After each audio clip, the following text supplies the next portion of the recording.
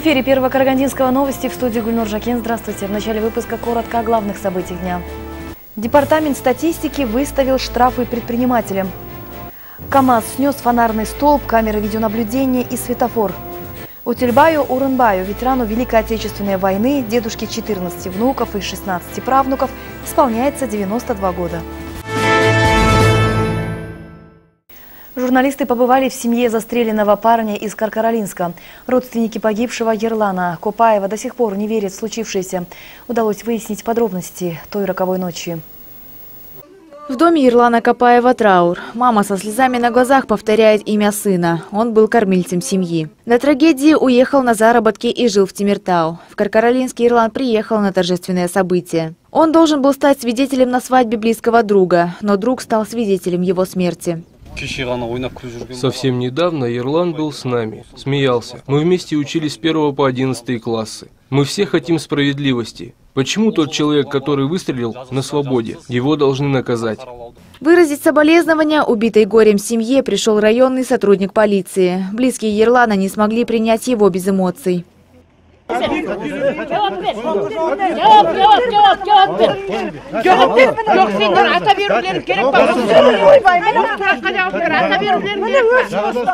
бұл өзінің тікелей обязанностін білмейді даже бар ғой жемқор. Нағыз осыны жабу керек Полицейский, который сделал роковой предупредительный выстрел, находится в больнице. Корреспонденты поехали в медицинское учреждение, но от разговора с журналистами он отказался и закрылся в палате. Врачи говорят, что у него есть синяки. Пострадавшего полицейского так и не удалось разговорить. Палата у нас не закрывается. Арсендар çıktı.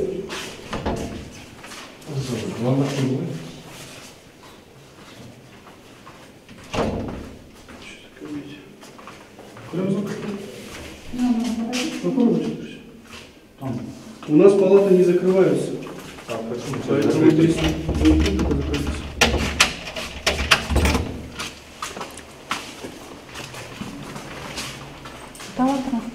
Если не имеешь опыта,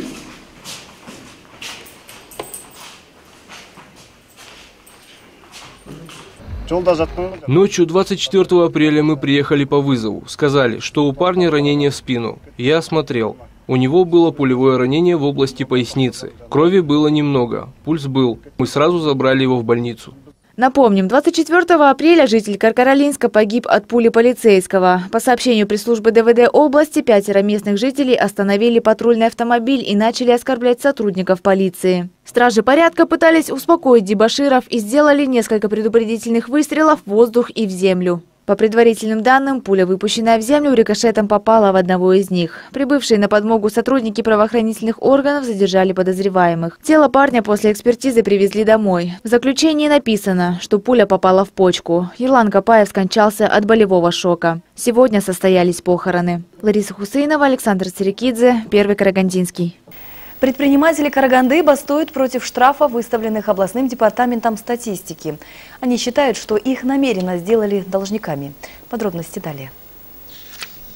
До 30 марта предприниматели должны были сдать отчет о доходах за 2015 год в Департамент статистики. Такое правило появилось с 2016 года. Наталья Ткаченко – владелица автомойки. В бизнесе уже 10 лет. О таких нововведениях женщина услышала в первый раз.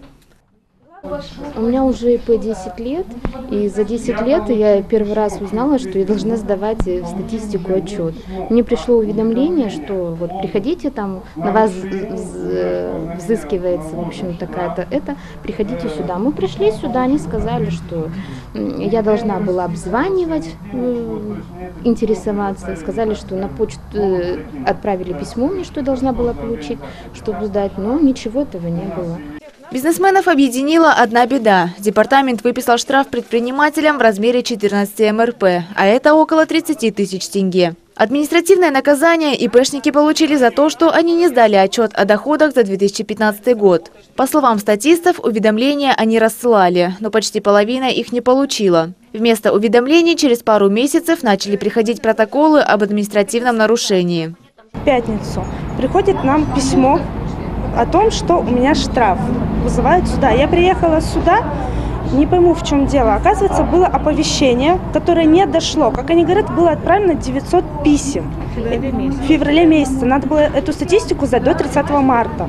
У нас очень много людей, которые не получили эти письма. Они сейчас нам предлагают, чтобы мы сдали эту статистику, и в любом случае мы платили штраф. Возмущенные предприниматели написали прошение на имя начальника департамента статистики. Люди хотят справедливости. Бастующие собрались с 10 утра, и только благодаря приезду журналистов им удалось переговорить со специалистом из департамента. На 2016 год э, вышел предпринимательский кодекс, где индивидуальных предпринимателей относят к субъектам предпринимательства. Э, и, э, кстати, говоря этой статье, а, видов взыскания в виде предупреждения не предусматривается. Поэтому административное взыскание будет только в виде штрафа. Вы разъясняли этот кодекс сами? Как говорит Эльвира Нургалиева, в департаменте проводятся семинары. На сайте есть вся информация для сдачи отчета. Только до бизнесменов эта информация не дошла. Теперь они вынуждены отстаивать свои права. Ну, сразу 14 МРП. Почему? Потому что штраф. Почему? 30 тысяч. Почему У всех доходы разные. Вы Откуда такие суммы? Вы раз, да, хотя предупредите Откуда суммы такие? Либо по телевидению должны были выступить. Что делать дальше, предприниматели пока не знают. Но на этом разбирательства не закончились. Они намерены судиться с Департаментом статистики Карагандинской области. Лариса Хусейнова, Исламбек Успан, Александр Царикидзе, Первый Карагандинский. На трассе Караганда-Тимиртау КАМАЗ с прицепом снес два столба и светофор. Камера дорожного наблюдения и светофор не подлежат восстановлению. На месте ДТП побывали наши корреспонденты. Лариса Хусаинова с подробностями. Вокруг испорченные дорожные знаки. На месте ДТП все усыпано зерном. По словам водителя, было около 16 тонн. КАМАЗ из Осакаровского района с грузом направлялся на мельницу.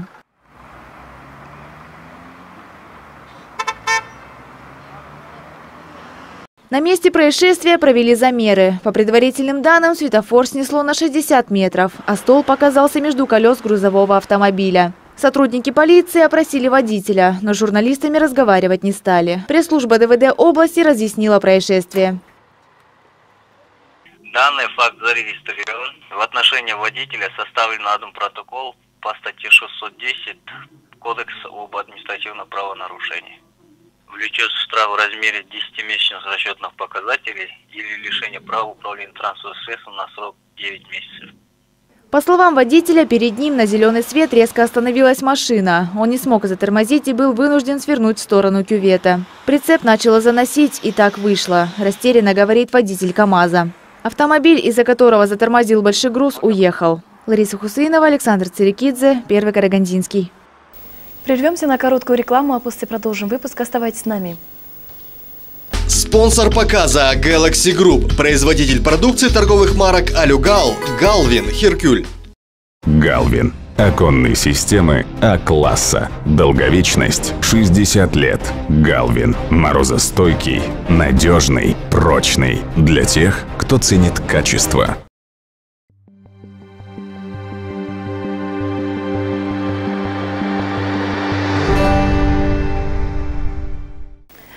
Продолжаем выпуск. Как известно, май месяц насыщен важными знаковыми датами, среди которых особое место занимает праздник единства народа Казахстана и День Победы. На совещании в Акимате Карагандинской области были рассмотрены вопросы организации предстоящих праздников.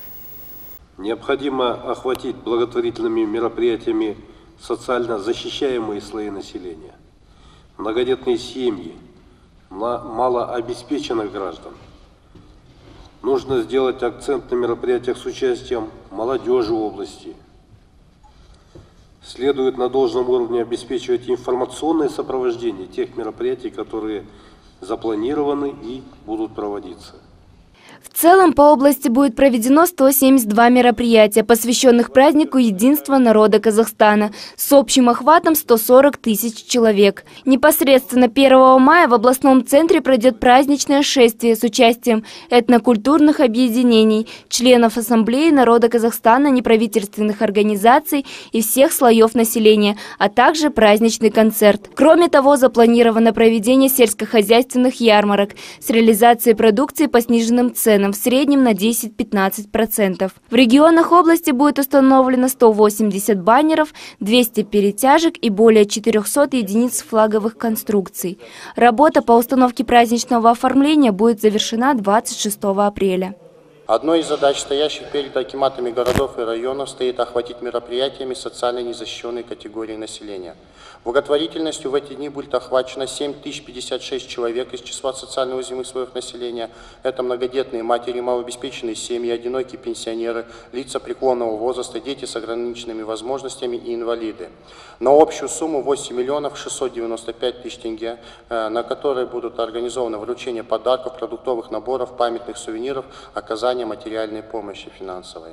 Также в области начата подготовка к празднованию Дня Победы. 7 мая в области стартует месячник оборонно-массовой и патриотической работы. В течение месяца во всех учебных заведениях и воинских частях области пройдут уроки мужества, военно-патриотической акции, флешмобы, конкурсы патриотической песни. С 5 по 9 мая в области пройдут приемы акимов городов и районов ветеранов ВОВ и тружеников тыла. Во всех организациях и предприятиях области области пройдут мероприятия по чествованию ветеранов войны и тружеников тыла. 9 мая пройдут митинги-реквиемы с установкой военных палаток и полевых кухонь, праздничные концерты, спортивные состязания. В общей сложности в эти дни по области во всех населенных пунктах запланировано более 500 мероприятий. Также хотел бы отметить, что согласно данным ГЦВП, по состоянию на 1 апреля в области проживает 256 участников и инвалидов Великой Отечественной войны и около 18 тысяч тружеников тыла. В рамках проведения праздничных мероприятий, посвященных Дню Победы в городах и районах области, всем ветеранам предусмотрены средства на оказание единовременной материальной помощи. В конце прошлого года в города и районы были направлены рекомендации, согласно которых на сегодняшний день э, в городах и районах будет оказана единовременно материальная помощь в едином размере участникам и инвалидам войны по 150 тысяч тенге, всем остальным категориям по 10 тысяч тенге. Все ветераны Великой Отечественной войны полностью обеспечены бесплатными лекарственными препаратами и стационарным лечением. Они освобождены от оплаты коммунальных услуг, организована работа по обеспечению углем и дровами участников Великой Отечественной войны, проживающих в сельской местности. Кроме этого, участники Великой Отечественной войны пользуются правом бесплатного проезда в городской маршрутной сети, на междугородних внутриобластных маршрутах. Ежегодно акционерное общество пассажирских туристические перевозки ветеранам ВОВ предоставляет право одной бесплатной поездки по республике и внутриобластных железнодорожных маршрутах в течение мая. Хотелось бы акцентировать внимание на том, что ни один ветеран Великой Отечественной войны не должен остаться без внимания в эти дни. Особенно в эти дни. Потому что задача-то Нами ставится, что они должны находиться под вниманием круглый год, а не только в праздничные дни. А здесь нужно особое внимание уделить. Асель Сазамбаева, Олжас Габасов, Александр Церекидзе, Первый Карагандинский. В Карагандинской академии МВД Республики Казахстан имени Баримбека Бесенова прошло совещание с участием руководства Министерства внутренних дел, депутатов Мажилиса парламента Республики Казахстан, Акима Карагандинской области, представителей правового совета при партии Нуротан, где рассматривались первые результаты деятельности местной полицейской службы. На сегодняшний день приняты все необходимые законодательные и практические меры по должной организации деятельности местной полиции.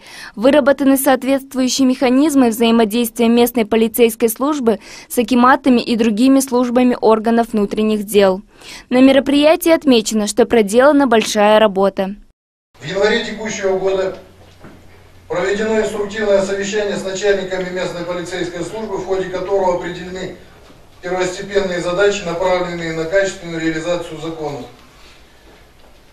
Уже сейчас Акимы ежедневно ставят перед МПС задачи, контролируют их исполнение, так как им более всего известны проблемы и потребности общественности на местах.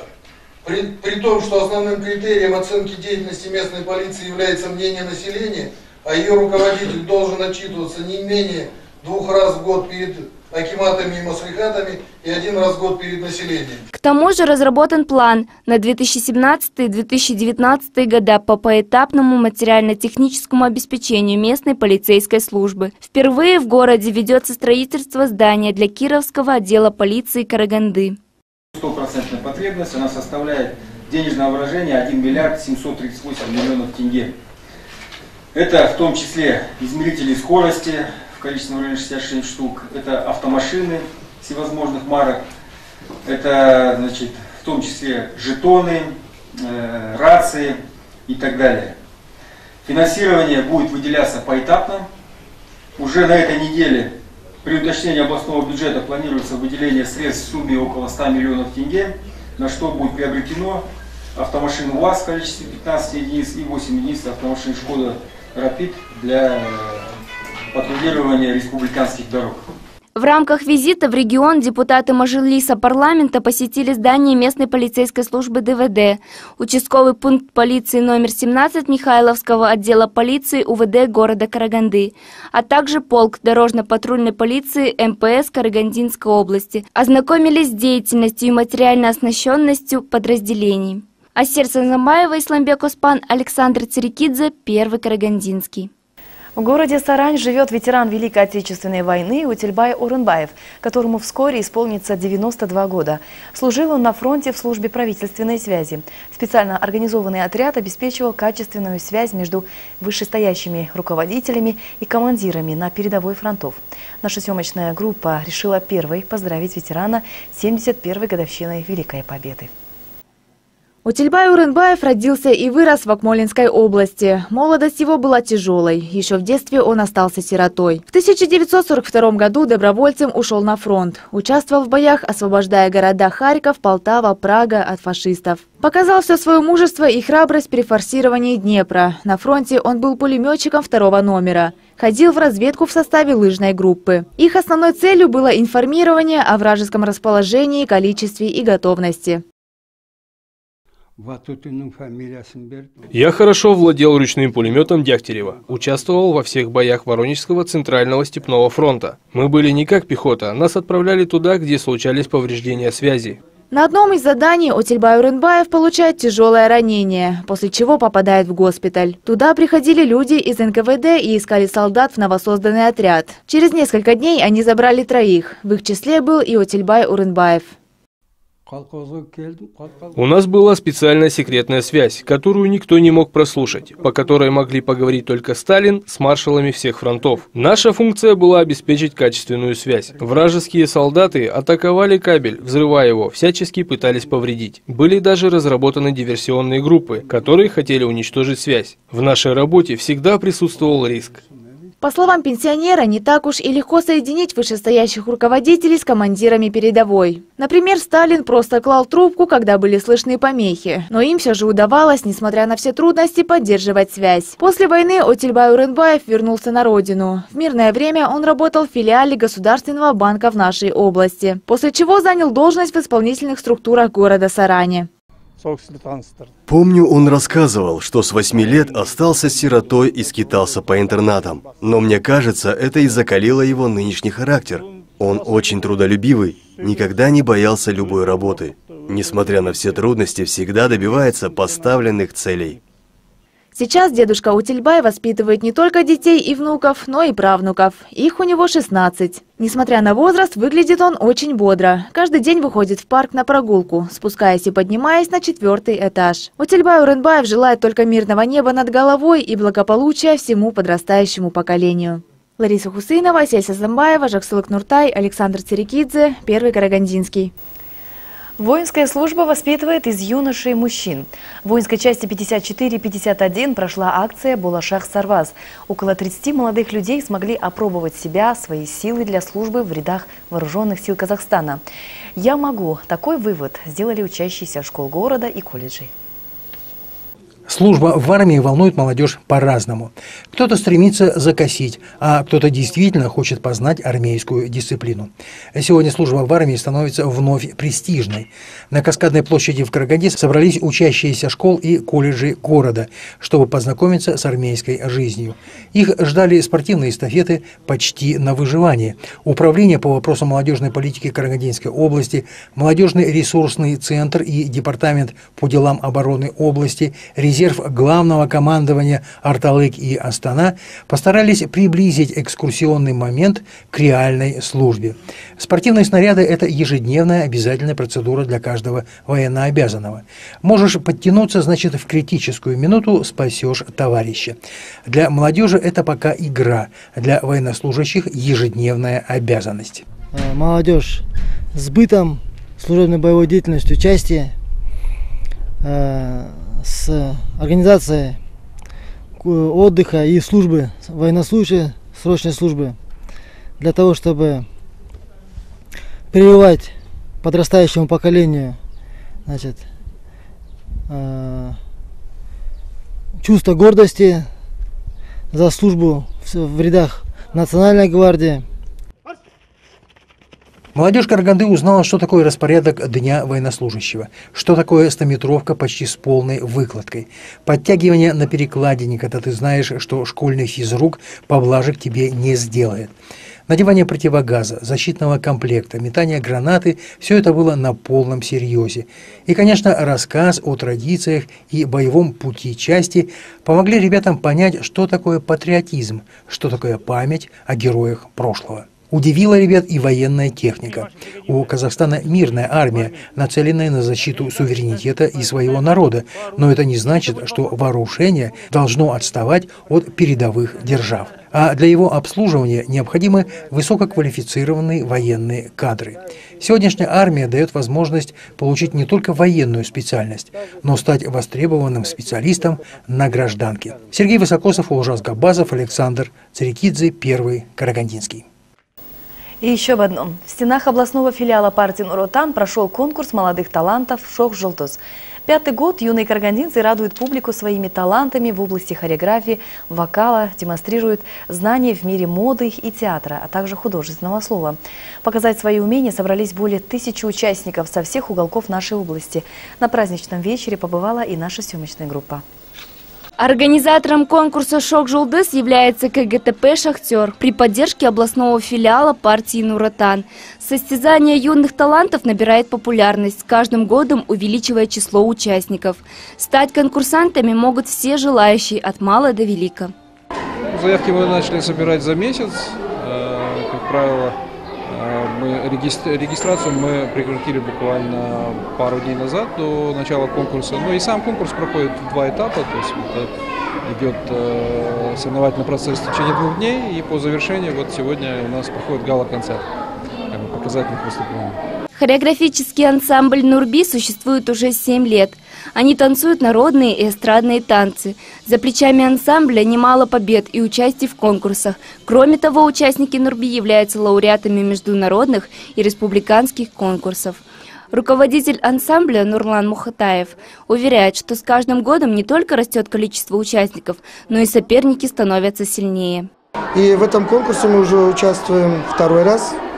И нам очень нравится этот конкурс. Мне кажется, в этом году уже уровень вырос, соперники сильнее стали, интересно. То есть участвовать уже интереснее, народу много. Безусловно, все участники отнеслись к подготовке к конкурсу со всей серьезностью. Бесконечные репетиции и тренировки не прошли даром. На протяжении всего вечера звучала музыка и не смолкали дружные аплодисменты. О новостях на сегодня все. Если у вас есть интересная информация, звоните нам по телефону 42 06 49 и смотрите наши новости на сайте канала. Всего доброго. Амазал Володар.